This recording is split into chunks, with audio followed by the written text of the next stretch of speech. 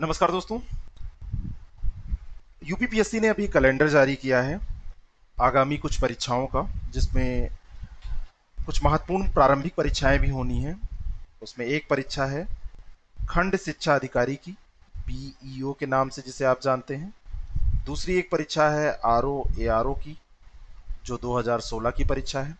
और एक परीक्षा है UP P C S twenty twenty की, ये भी प्रारंभिक परीक्षा होनी है।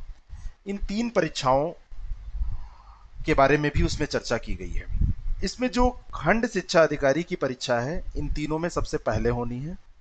16 तारीख को 16 अगस्त को ये परीक्षा होनी है 2020 में। पहले इस परीक्षा की तिथि थी 22 मार्च। 22 मार्च 2020 को ये परीक्षा होनी थी। तब तक कोविड 19 आ टपका।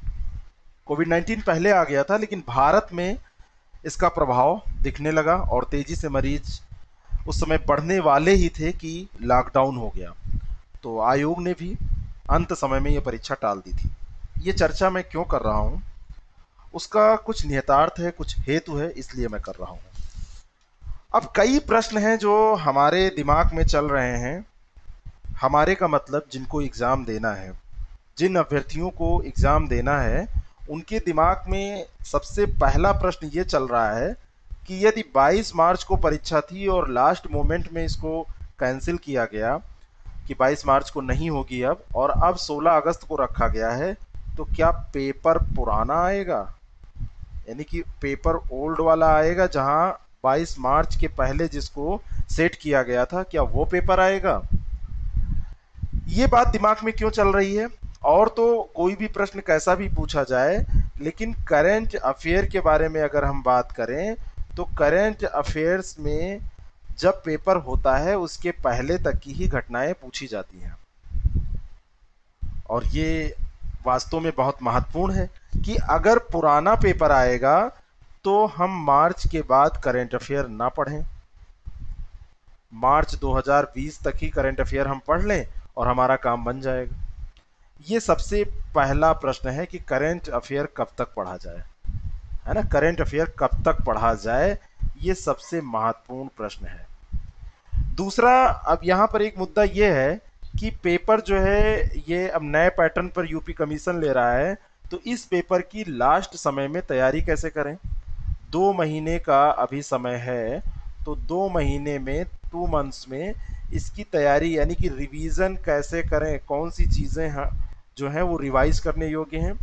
और तीसरा एक महत्वपूर्ण मुद्दा ये है कि इन सभी चीज़ों के लिए चाहे वो करेंट अफेयर है, चाहे वो आपका ट्रेडिशनल जीएस है, उसके रिवीजन के लिए आपकी संदर्भ सामग्री क्या होनी चाहिए और क्या क्या पढ़ना चाहिए।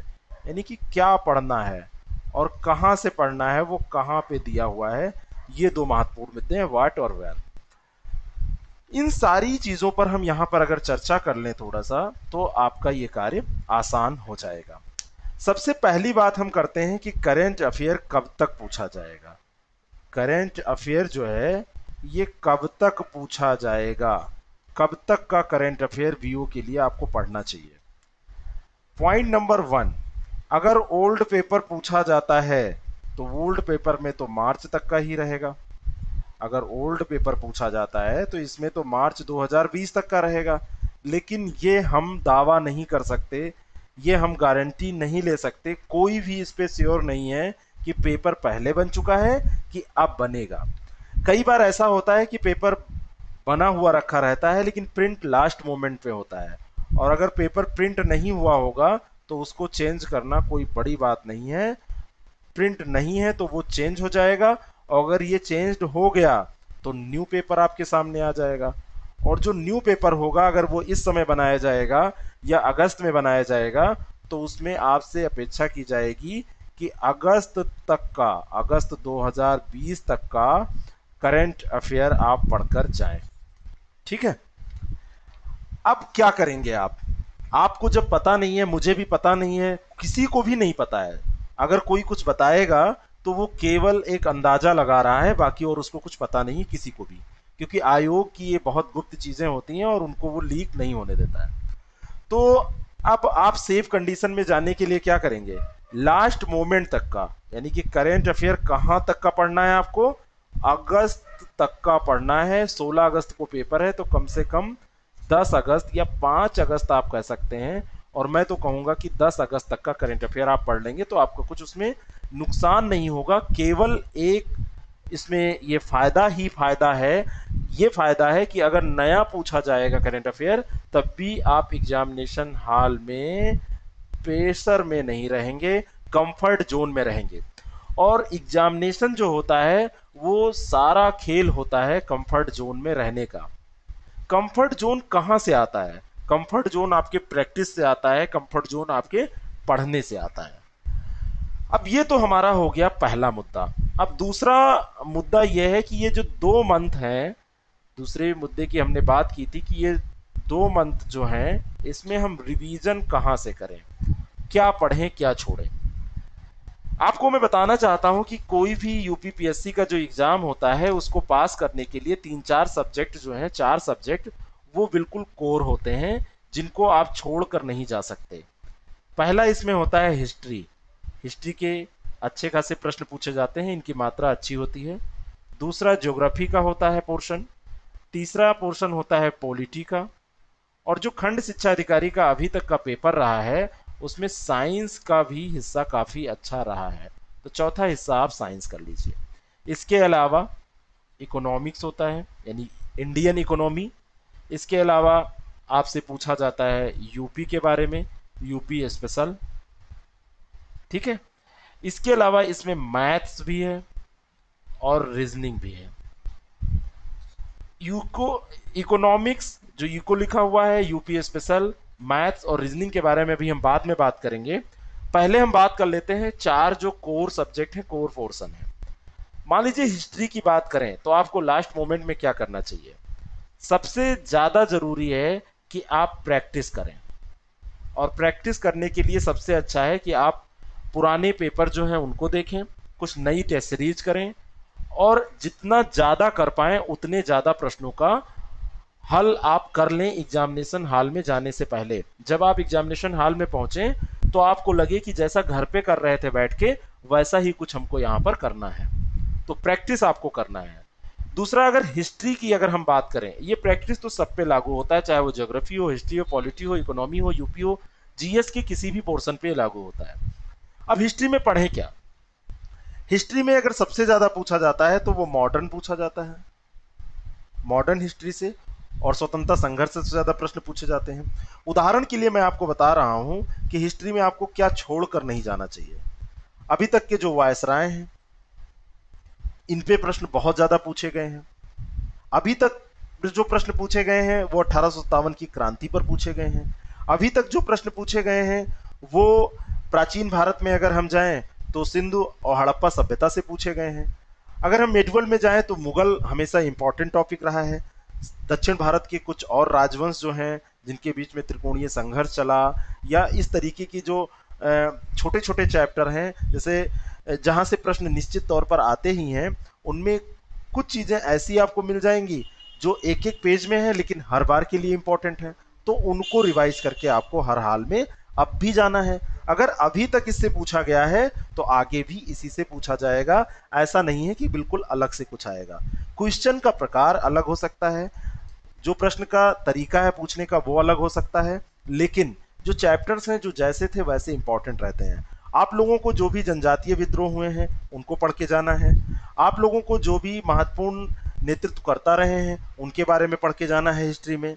आप लोगों को इसमें अगर मेडुअल हिस्ट्री आप कर रहे हैं तो उसमें जो इम्पोर्टेंट टर्मोलॉजी हैं, शब्दावलियाँ हैं, बहुत सारी शब्दावलियाँ जिन पे प्रश्न पूछे जाते हैं, उनको करके जाना है। दक्षिण भारत के इतिहास में भी जब आप पढ़ेंगे तो वहाँ पर भी ऐसी शब्दावलियाँ आपको मिल जाएँगी। कुछ रचनाएँ हैं, जो इतिहास के स्रोत के तौर पर कार्य करती हैं। उनको आपको पढ़ के जाना है। इस तरीके से ये इंपॉर्टेंट टॉपिक हो गए हिस्ट्री के, जो आप, ये जो दो महीना है, इसमें रिवीजन आसानी से इसका कर सकते हैं। अगर भूगोल में हम बात करें तो भूगोल में अगर विश्व भूगोल, यानी कि वर्ल्ड ज्योग्राफी और इंडियन ज्योग्राफी दो भागों में इसको हम बांट लें तो विश्व भूगोल में जो कंसेप्ट का पोर्शन है, उसमें पहला ही चैप्टर बहुत इंपॉर्टेंट है। पृथ्वी के बारे में जो चैप्टर है, वो इंपॉर्टेंट है। ब्रह्मांड के बारे में जो चैप्टर है, वो इंपॉर्टेंट है। घास की भूमियाँ जो हैं, वो इंपॉर्टेंट हैं। ऐसे जलवायु प्रदेश के बारे में आपको पढ़ के जाना चाहिए, वनस्पतियों के बारे में पढ़ के जाना चाहिए। जलवायु प्रदेश जो डिवीज़न विभिन्न विद्वानों ने किए हैं कोपेन ने जो डिवीज़न किया है, ये सब आप भले मत पढ़िए, लेकिन उनकी फीचर्स याद होने चाहिए। आपको अच्छांश देशांतर के बारे में बेसिक जानकारी होनी चाहिए। आपको मैपिंग के बारे में जो करंट अफेयर के मुद्दे हैं, उनको भी रिलेट करके तैयार करना चाहिए। आप विश्व स्तर की झीलें देख लीजिए, विश्व स्तर की नदियाँ देख लीजिए आप विश्व स्तर की जो बड़ी परियोजनाएँ हैं, उनको देख लीजिए। आए दिन जो न्यूज़ में रहती हैं चीज़ें, उनको देख कर जाइए। एटलस हमेशा पलटते रहिए, मैप देखते रहिए। भारत के भूगोल में अगर हम बात करें तो भारत की मिट्टी बहुत इंपॉर्टेंट है। भारत का जो जलवायु प्रदेश है, भारत की वनस्पतियाँ जो हैं, वो बहुत इंपॉर्टेंट है। सिंचाई परियोजनाएँ, बहुदेशीय परियोजनाएँ बहुत इंपॉर्टेंट है। खनिज संबंधी जो आंकड़े हैं एग्रीकल्चर के जो आंकड़े हैं, वो बहुत इंपॉर्टेंट हैं। जनसंख्या नगरीकरण आप अलग से अगर नहीं पढ़ते हैं तो भूगोल में रिवाइज करके उसको जाइए। अभी 2011 की जनगणना चल रही है 2021 में नई होगी, तब तक वो इंपॉर्टेंट है। जब तक नई नहीं हो जाती है, उसको आप रिवाइज करके जाइए।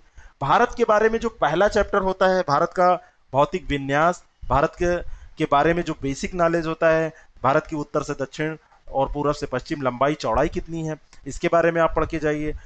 भारत के राज्यों और केंद्र शासित प्रदेशों के बारे में जो महत्वपूर्ण चीज़ें हैं, उनको पढ़िए। भारत के जो कल्चर के बारे में, ज्योग्राफी में कुछ चीज़ें आ जाती हैं, जो पूछी जाती हैं, है ना? कौन सा त्यौहार कहाँ मनाया जाता है? कौन सी, जैसे नेशनल पार्क पूछ लिए जाते हैं, ऐसे पक्षी अभ्यारण वन्य जीव अभ्यारण ये सब पूछ लिए जाते हैं। तो ये सब आपको रिवाइज करके जाना है करंट अफेयर से रिलेट करते हुए। ऐसे जब हम पोलिटी में आएँगे तो पोलिटी में इंपॉर्टेंट क्या है? आपको अनुसूचियाँ पता होनी चाहिए। कौन कौन सी अनुसूची हैं? आपको महत्वपूर्ण अनुच्छेदों के बारे में जानकारी होनी चाहिए। आपको प्रस्तावना याद होनी चाहिए। कभी कभी प्रस्तावना से ही प्रश्न आ जाता है। आपको नागरिकता के बारे में हर हालत में पढ़ के जाना चाहिए। आपको फंडामेंटल राइट के बारे में, फंडामेंटल डीपी ये ड्यूटी के बारे में और डीपीएसपी के बारे में जो राज्य के नीति निर्देशक तत्व हैं, इनको कभी भी छोड़ के नहीं जाना है। जो कुछ संवैधानिक और संवैधानेतर संस्थाएँ हैं, उनके बारे में आप पढ़ के जाइए। नीति आयोग के बारे में हमेशा आप अपडेट रहिए, है ना? इस तरीके से आप हर जगह टॉपिक छांट सकते हैं। पॉलिटी में एक टॉपिक है, स्थानीय स्वायत्त शासन, उसको पढ़ के जाइए। इससे संबंधित जो अनुच्छेद हैं, इससे संबंधित जो चुनाव संबंधी जो प्रावधान है, उनको पढ़ के जाइए। चुनाव से रिलेटेड भी जितनी चीज़ें हैं, वो पढ़िए। कितने सदस्य हैं संसद क्या होती है, विधानसभा क्या होती है, विधान परिषद क्या होती है, विधान परिषद कहाँ कहाँ है, ये सब इंपॉर्टेंट टॉपिक होते हैं जहाँ से हमेशा प्रश्न आते हैं। ऐसा आप पढ़ के जा सकते हैं। और साइंस में सबसे इंपॉर्टेंट जो पोर्शन होता है, वो पोर्शन होता है बायोलॉजी का। बायोलॉजी का जो पोर्शन है, उसमें रोग है विटामिन हैं, उसमें जो खनिज लवण हैं, इनके बारे में आप पढ़ के जाइए। महत्वपूर्ण जो शरीर के अंग हैं, जैसे किडनी है, अग्नाशय है है ना? ऐसे आपके सिर के बारे में कौन कौन से उसके पार्ट होते हैं, उसका क्या कार्य होता है, आँख के बारे में, है ना? कान के बारे में, जो भी आधे आधे एक एक पेज के मटेरियल हैं, इनको रिवाइज करके आपको जाना है। अगर आप भौतिक विज्ञान में देखें तो मापक पढ़ के आपको जाना है, भौतिक विज्ञान में आपको प्रकाश पढ़ के जाना है, भौतिक विज्ञान में आपको कुछ प्रश्न ऐसे आते हैं, जो हर बार पूछे ही जाते हैं, है ना? जैसे आप लेंस के बारे में पढ़ लेंगे प्रकाश में ही आ जाएगा, या अलग आप लेंस के बारे में, दर्पण के बारे में पढ़ लेंगे तो वहाँ से प्रश्न आपको हर बार मिलेगा। केमिस्ट्री में बहुत ज़्यादा दायरा नहीं है, लेकिन कुछ तत्वों के बारे में पूछ लिया जाता है है ना? तो उनको आप देख लीजिए रिवाइज कर लीजिए। कुछ आपका परमानेंट क्वेश्चन का बैंक होता ही है, जहाँ से बार बार रिवीजन होता है, और ये हर सब्जेक्ट पे लागू होता है। उसको आप रिवाइज कर लीजिए। इस तरीके से ये चार पोर्शन अगर आप कर लेंगे तो 70 से 80 प्रश्न यहाँ से आपको आराम से मिल जाएँगे। 25 30 25 प्रश्न कम से कम हिस्ट्री से, ऐसे ही 25 प्रश्न ज्योग्राफी से 15 पॉलिटी से और 15 साइंस से 80 प्रश्न ये हो गए। इन पोर्शंस को अगर आप मज़बूत कर लेते हैं तो अब बारी आती है इकोनॉमी की। जो इंडियन इकोनॉमी का पोर्शन पूछा जाता है, खास करके यूपीपीएससी में तो कुछ कंसेप्ट बेस्ड प्रश्न यहाँ पर पूछे जाते हैं और इन कंसेप्ट के साथ में टोटल करेंट अफेयर से इसको रिलेट कर दिया जाता है। इकोनॉमी में करेंट अफेयर बहुत महत्वपूर्ण हो जाता है। आर्थिक परिदृश्य जो आप पढ़ते हैं, वो करेंट अफेयर इकोनॉमी का होता है और वो महत्वपूर्ण हो जाता है। आप राष्ट्रीय आय के बारे में आरबीआई के बारे में और जो हमारे यहाँ पंचवर्षीय योजनाएँ चलती थी, योजना आयोग जो था थोड़ा बहुत उसके बारे में, नीति आयोग के बारे में आप यहाँ भी पढ़ते हैं। कंसेप्ट बेस्ड जो प्रश्न है, उनको तैयार कर लीजिए, बाकी करंट अफेयर में आपका यहाँ से तैयार हो जाएगा। अब बात आती है मैथ्स और रीजनिंग की। मैथ्स और रीजनिंग को लेकर बहुत लोग परेशान हो रहे हैं। मैं यहाँ पे बताना चाहता हूँ कि टोटल पंद्रह के लगभग क्वेश्चन इसमें दोनों पोर्शन को मिलाकर आएँगे। अगर पंद्रह सत्रह क्वेश्चन इसमें से आते हैं तो रीजनिंग के आधे प्रश्न रहेंगे इसमें। पाँच सात प्रश्न जो सात आठ प्रश्न रीजनिंग के रहेंगे, उनमें से पाँच सात प्रश्न आप आसानी से कर लेंगे कोई भी। जो पढ़कर कहीं से भी आप थोड़ा सा रिवाइज करके अगर जाएँगे, कहीं से भी पढ़कर जाएँगे तो पाँच सात प्रश्न कर लेंगे, नहीं पढ़ के जाएँगे, तब भी कर लेंगे। और एक आध प्रश्न आप मैथ का भी कर लेंगे। इतना ज़्यादा इसके लिए परेशान होने की ज़रूरत नहीं है। इसमें भी जैसे मैथ में है प्रतिशतता इंपॉर्टेंट है सीरीज़ वाले प्रश्न इंपॉर्टेंट है रीजनिंग में। ऐसे ही आ, कुछ प्रश्न है जैसे कार्य चाल और समय चाल और दूरी इन सब चीज़ों से पूछे जाते हैं जो हर बार के सदाबहार नगमे हैं। तो सदाबहार नगमे आप तैयार रखिए। नए गाने पे डांस करने की कोशिश से ज़्यादा अच्छा है पुराने गानों का बार बार रिवीजन करना है ना? तो अगर आप उनको रिवाइज करके तैयार रखेंगे, यहाँ पे गाने का मतलब ये है कि वो सदाबहार नगमे होते हैं। रफ़ी के गाने कभी आउटडेटेड नहीं होंगे, मुकेश के गाने कभी आउटडेटेड नहीं होंगे और हनी सिंह आते जाते रहते हैं। साल दो साल रहते हैं, फिर गायब हो जाते हैं। दूसरे हनी सिंह, फनी सिंह कोई भी आते रहते हैं। तो इस तरीके से आप कोर पोर्सन को तैयार करके जाइए। इसके अलावा आपको मैंने पहले भी बताया कि जनगणना हर हाल में तैयार कर लेनी है। आपको बजट हर हाल में तैयार कर लेना है। आपको जो फॉरेस्ट रिपोर्ट अभी जल्दी में जो रिलीज़ हुई है 2019 की तो उसको तैयार कर लेना है। आपको जो खनिज संबंधी आंकड़े हैं, उनको रिवाइज करके जाना है। आपको जो कृषि एग्रीकल्चर संबंधी आंकड़े हैं, उनको रिवाइज करके जाना है। इन सबको तो बिल्कुल छोड़ना नहीं है। और सबसे इंपॉर्टेंट पोर्शन है करेंट अफेयर जहाँ पर राष्ट्रीय, अंतर्राष्ट्रीय आर्थिक, राजनीतिक व्यक्तित्व और जो भी जितने भी पोर्शन होते हैं, उसमें सूचकांक जैसे आपको हर हाल में देख के जाना है करंट अफेयर में। आपको अंतर्राष्ट्रीय संस्थाओं के बारे में जो डेवलपमेंट हुआ है कोविड 19 पे भी कुछ प्रश्न आपको तैयार करने पड़ेंगे। वैसे तो प्रश्नों की संख्या बहुत ज़्यादा है तो इसको छोड़कर आपको नहीं जाना है, हर हाल में इन चीज़ों को पढ़ के जाना है। और इन सब में सबसे इंपॉर्टेंट है डेली प्रैक्टिस अगर आप प्रैक्टिस नहीं करेंगे तो इन सब चीज़ों का कोई मतलब नहीं रह जाएगा। आप कम से कम 100 से 200 प्रश्न रोज प्रैक्टिस करेंगे टू मंथ तक। दो महीने तक अगर इसको आप कर लेते हैं तो पीटी आपका पास समझ लीजिए। इसकी प्रैक्टिस करिए और इसका एक्सप्लेनेशन जो होता है, इसको अच्छे से एक्सप्लेनेशन को पढ़िए। और इससे भी जो प्रश्न बनते हैं, अगर एक प्रश्न उत्तर है इसका, प्रश्न का एक ऑप्शन उत्तर है तो जो तीन ऑप्शन दिए हैं, उनके बारे में भी सोचिए। कम से कम एक दो प्रश्न वहाँ से तैयार करिए। ये प्रैक्टिस का ही गेम है, पूरा एग्ज़ाम जो है, ये प्रैक्टिस का गेम है। इसके लिए आप कहीं से भी टेस्ट सीरीज़ ज्वाइन कर लीजिए। इसके लिए आप कहीं से भी मॉक टेस्ट कर लीजिए। इसके लिए आप डेली कुछ कार्यक्रम होते हैं, जैसे जैसे अपना भी एक कार्यक्रम है डेली थर्टी उसको आप देख सकते हैं। मॉर्निंग जीके का एक कार्यक्रम है तो आप डेली थर्टी देखकर भी इसकी तैयारी कर सकते हैं। डेली थर्टी में हम रोज एक टॉपिक उठाते हैं और साथ में करंट अफेयर उसको डिस्कस करते हैं। ऐसे जो मॉर्निंग जीके का हमारा टॉपिक है, उसमें एक टॉपिक उठाते हैं, उसके बारे में डिटेल हम अध्ययन करते हैं। ये सारा काम अगर आप करके जाएँगे तो आपको प्री पास होने से कोई नहीं रोक सकता है। प्रैक्टिस करके, या आप अपने आप कर लीजिए, कैसे भी करिए, कहीं से भी करिए, लेकिन करके जाइए। कोई भी एग्ज़ाम हो, ये चीज़ें उस पर लागू होती हैं। फ़िलहाल हम बीओ के बारे में बात कर रहे हैं तो बीओ के बारे में ऐसा बोल रहे हैं। अब एक चीज़ मैं आपको बताना चाहता हूँ कि हम लोग आपके लिए क्या कर रहे हैं अगर आपकी रुचि होगी तो इस कार्यक्रम में आप रजिस्ट्रेशन कर सकते हैं, ये सूचना आपके लिए है। हम लोग यहाँ पर आपके लिए यह कर रहे हैं कि ये सारा जो प्रैक्टिस वाला पोर्शन है, कुछ मदद यहाँ पर आपको हम लोग कर सकते हैं। हमने एक कार्यक्रम लॉन्च किया है और उस कार्यक्रम का नाम है पीओपीटी श्योर सीरीज़ इस कार्यक्रम के अंतर्गत पहले जो कार्यक्रम थे, उनसे अलग, यानी कि फुल कोर्स और टेस्ट सीरीज़ पहले से भी चल रहा है। बहुत सारे लोगों ने उसको ज्वाइन किया, उसका लाभ उठाया है। इसको अलग से हम लॉन्च कर रहे हैं ट्रिपल नाइन नौ सौ निन्यानवे का एक कार्यक्रम है, लेकिन इस समय ये चार सौ निन्यानवे रुपये मैंने इसकी फ़ीस इसलिए रखी है कि लोग कह रहे हैं कोविड नाइन्टीन में बहुत हम परेशान हैं, पैसे हमारे पास नहीं है। तो आप चार सौ निन्यानवे रुपये खर्च करिए, इसलिए कि आप उसको गंभीरता से लीजिए। और इस कार्यक्रम के तहत आपको क्या क्या मिलेगा, ये मैं सार्ट में बताया दे रहा हूँ। अगर आपकी रुचि होगी तो इस पर रजिस्ट्रेशन ज़रूर कीजिएगा। अभी रजिस्ट्रेशन का प्रोसेस भी मैं बताया दे रहा हूँ। नवंबर से अगस्त तक, यानी अगस्त में परीक्षा होनी है, तब तक का मासिक करंट अफेयर वीडियो और पीडीएफ यहाँ पर मिल जाएगा। महत्वपूर्ण टॉपिकों पर वीडियोज़ और पीडीएफ हम देंगे।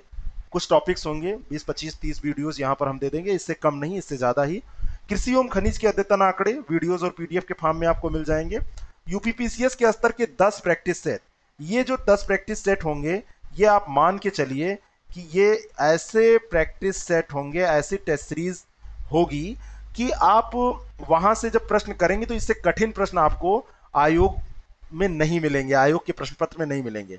इसको आप ऑनलाइन देंगे और इसका साथ में हम पीडीएफ भी प्रोवाइड करा देंगे। बाकी और कोर्सेज के भी पीडीएफ जो हैं, जो इन्होंने टेस्ट सीरीज़ ज्वाइन की है, उसको भी हम प्रोवाइड कराने जा रहे हैं। अब ऑफ़िस खुल गया है, सब काम चलने लगा है। तो ये हमारा ये यूपीपीसीएस के स्तर का 10 प्रैक्टिस सेट रहेगा इसमें। आवश्यकता पढ़ने पर अगर आपको कोई ज़रूरत पड़ती है तो हम अपनी टीम से बात करके बहुत ज़रूरत पड़ने पर ऐसा कर लेंगे। और समय समय पर परीक्षा पास करनी है तो आवश्यक सुझाव और मार्गदर्शन, जैसे आज हमने डिस्कस किया क्या क्या पढ़ के जाना चाहिए, ऐसे और बहुत सारी चीज़ें होती हैं, बहुत सारी ट्रिक्स होती हैं, जिनके आधार पर आप अगर बॉर्डर लाइन पे हैं तो परीक्षा पास कर सकते हैं।